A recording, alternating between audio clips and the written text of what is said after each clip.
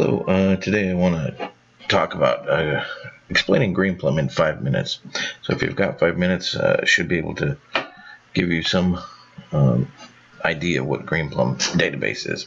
There is an assumption that you know what a database is. Uh, Greenplum is a SQL database. Um, it is designed for a, data warehouse. Uh, it is what we call an MPP database, multi-processing the idea with a, a with Greenplum is that it's very good at taking large queries um, and handing you back information very quickly. So that's really the whole idea. Is that there was an issue with the older style of databases where they can't answer back very fast with large queries. So um, let's go to the next slide. So a single, the first databases were single uh, threaded databases, basically. Um, you have users, they talk to the database instance. I don't know if you, hopefully you can see my mouse. Um, so you have all these users, they run queries on the database, and then there's a direct, direct disk hooked to that instance. So when it's hooked to that instance, so basically you run the query, the database scans the data into the instance, in a single threaded and then it pushes it back out. Well, that's fine if you have very little data. What if you have a lot of data? Let's say you're trying to uh, you're trying to search uh, a terabyte of information. Okay, well, what about 10 terabytes? Now we have warehouses with petabytes of information, and they must be able to do that. So, if this was 10 terabytes, to suck 10 terabytes across this one thread and try to actually do any inform you, you'd never get finished it, you couldn't suck enough data across the single link to actually even if you had a good filter on it it would still take a long time to get the data into the instance and then manipulate it and filter it and join it and whatever else it needs to do before it passes it back to the users. So this was very limited as far as size. This is only good to about um, well, honestly, about 10 terabytes. Um, and that's not assuming it's not all on one table. So Oracle came up with this idea of parallel, a parallel instance, parallel Oracle. Um, what what Oracle did was they said, well, let's remove the disk away from the instance. We'll have this data shared disk out here. And it, that shared disk will be connected to three separate instances that actually share workload. So you have the users out here, and the users actually issue a query.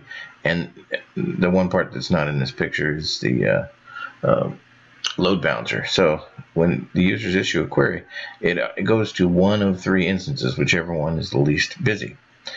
So at that point, you have three instances that'll work in parallel, but they still have to rely on the same shared disk. Okay, so that's okay if you have a lot of complicated uh, uh, algorithms, um, a lot of, of mathematics, uh, analytics. Uh, it's okay in certain ways. The problem is, again, if you have a lot of data, this will be your bottleneck. That bottleneck between the disk and the instance. Okay, we are talking about actually having the data outside of the actual system. Okay, so this is network.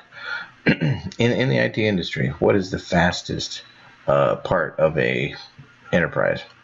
Usually it's the CPU. Okay, CPU is the fastest. Uh, the next level down is the memory. Then the next level down is disk. What is the slowest part of an enterprise, usually? That would be a network, okay? So you've just taken your disk or your data away from your databases across the slowest piece of your enterprise. So that's one issue if you have a lot of large queries. This, again, this is only good to about 10 terabytes, maybe a little bit bigger than that. But if you're scanning a lot of data, this just it, it couldn't keep up. Um, so this was good. It, actually, if you have OLTP database or transactional database, because transactions are not a lot of data, but they are. Uh, they do need a lot of computing power. So this added computing power, but not speed in scanning data. Okay, this is the architecture of Greenplum. Um, there's uh, several other ones too. Teradata, uh, Netezza, although I don't believe Netezza is hardly being made anymore. I think it pretty much went under. But you have Teradata, you've got uh, Greenplum, you've also got something called Postgres XL. Um, that is a open source, but it's not. I, last time I looked at that, which was, to be honest, a couple years ago, wasn't quite there. So what what does this do for you? You see uh, many many different instances. Instead of three, we've got in this case 4, 5, 6, 7, 8, 9, 10, 11, 12, 13. So 13 instances, right? So we have a master and we have these things called segments. Uh, think of it as a master-slave idea. So how do we get speed out of this? This looks really complicated. Well, really, it's actually very simple all of these segment instances are actually copies of each other as far as structure. The data only lives in one of these segment instances. Okay, so there's shared nothing data here basically.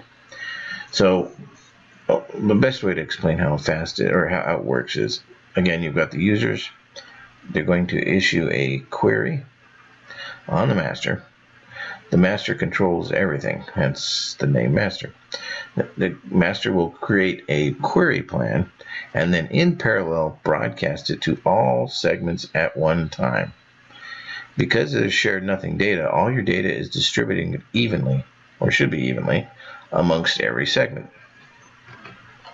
So in this case, we have a segment host, there's two segments, and they have local disk. Local disk is the best way to go because you're not going across a network. You've eliminated that network issue.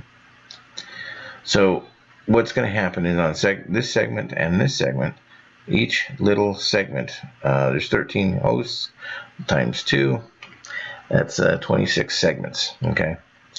So that same query that was figured out, the query plan here, will run in parallel on all 20, or I'm sorry, uh, uh, yeah, 26 segments. So what's going to happen is it's going to so in for instance this is segment one. Segment one will look through its portion of the data and then send the result the partial result set back to the master. Well guess what this segment's going to do back here? Same thing. It's going to run that exact same query on its portion of the data which is a different portion of data than this segment and then it will pass its partial result set back to the master. When the master retrieves a partial result set or an answer saying no rows or something, so it gets an answer from every one of its segments, the master will then collate all of the partial result sets into a singular larger result set. Do it whatever post processing needs to be happen, like order by, um, uh, an average, whatever it needs to do to post process that data, then pass the data back to the users. Now that seems really complicated, but if you think about it, what we've done is instead of having one instance, we've got uh, 26 instances. So in 26 instances, each segment is doing 1 26th of the work in parallel. So technically, it should be 26 times faster than a singular instance. Okay, now there is overhead, so it doesn't end up being 26. Uh, it, it's probably closer, you lose about 30%, so maybe 20 times faster. That's still pretty good. If, if you were taking 20 seconds for a query, now you're taking one second. Okay, so that's basically how it gets the speed, is it breaks your, your work up into many uh, different uh, processes. So the, the idea of many hands make light work, well this is many hands in parallel making light work. Okay, so what each one, okay, this, all of, uh, all of these segments, uh, in fact, Greenplum in general, is actually designed around Postgres. So what Greenplum is, is many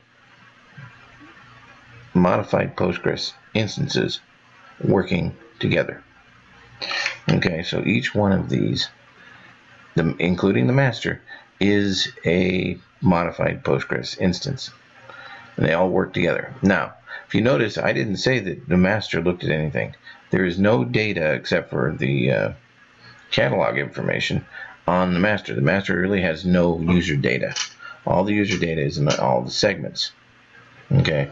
Now, when I, I did mention about them being evenly distributed. All right, so let's go to the next one. Distribution. How do you know for sure whether data is going to be evenly distributed? Okay, so let's consider the this right here.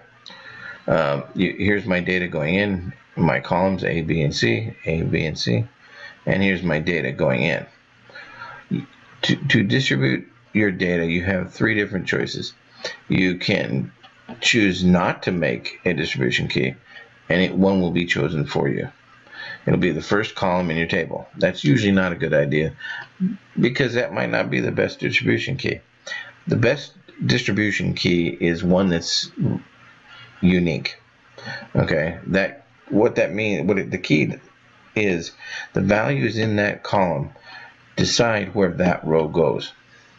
So let me show you how this works. So here's our data.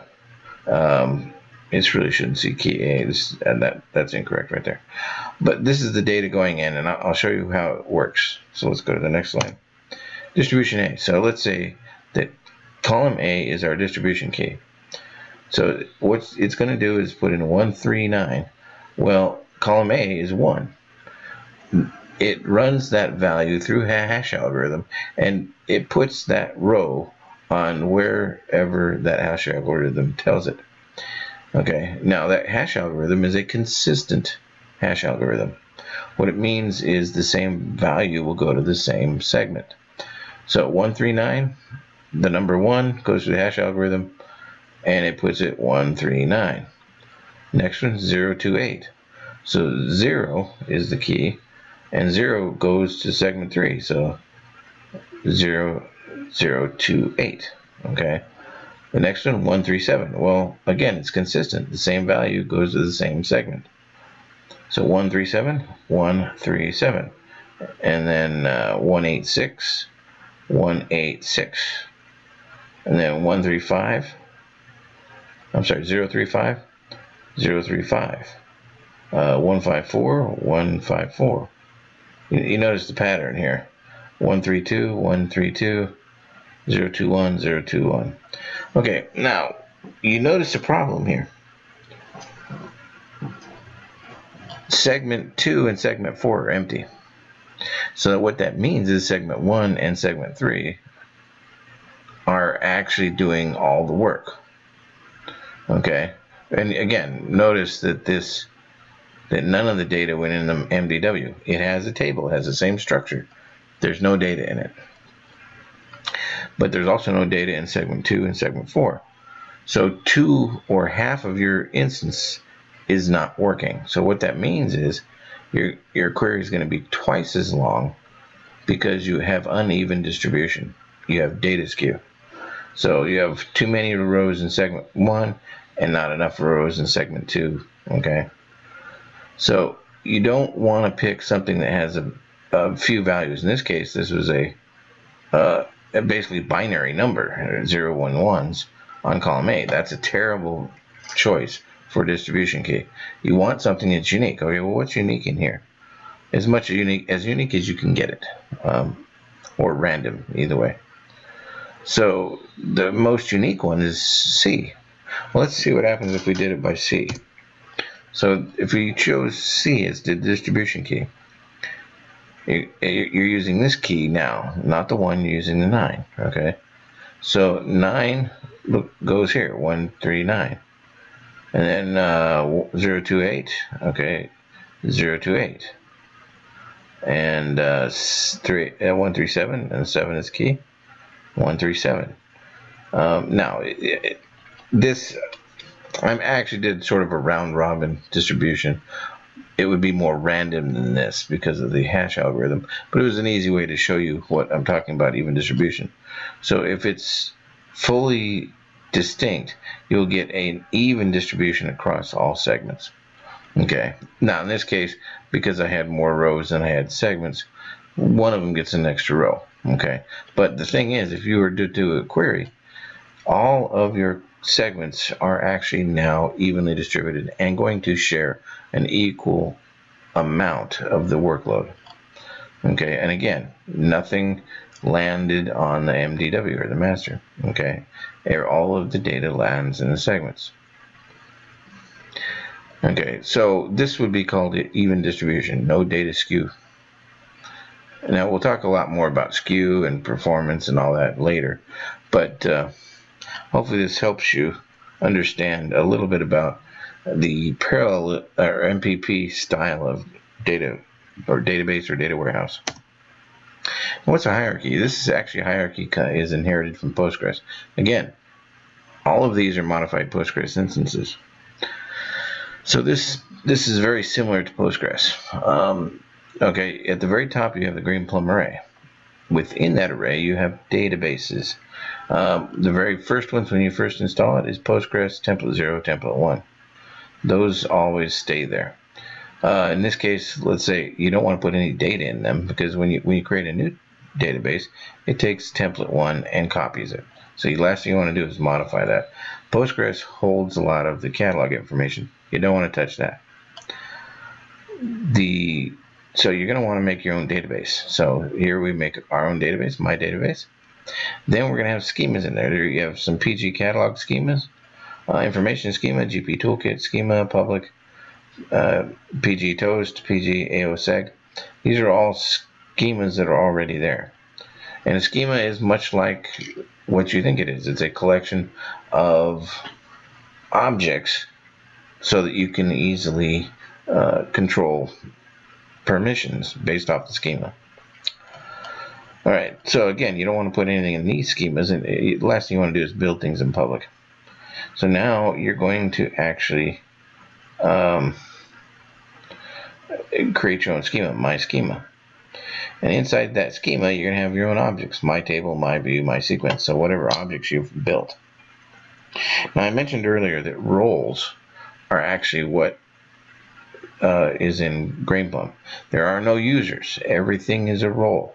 You've got uh, user roles and you've got group roles, but the only difference is how they're used.